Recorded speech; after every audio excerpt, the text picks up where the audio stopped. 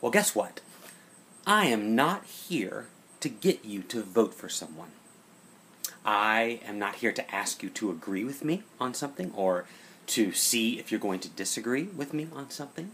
I'm definitely not here to sell you anything. Uh, I need nothing from you. I don't need you to do or say or think anything. I require absolutely nothing. In fact, I'm going to stop for a moment to see if you'd like to turn the video off because I don't even need you to watch it.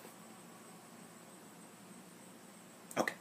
So if you're still watching, this thing I'm trying to explain to you, this uh, phenomenon I'm trying to reflect for you, is just an inkling, just a touch, just a a reflection, if you will, of the unconditional love of God that pours itself through you every day, every moment, every second of your life.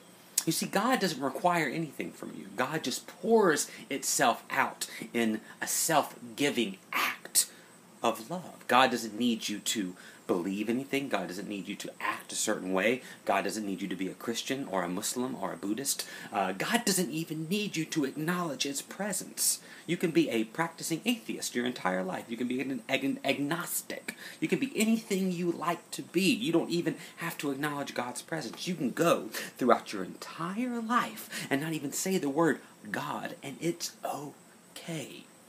God gives itself freely in an act of love to you no matter what. In every single moment, God is pouring itself out into creation. Just giving. Just giving. Unconditionally. Isn't that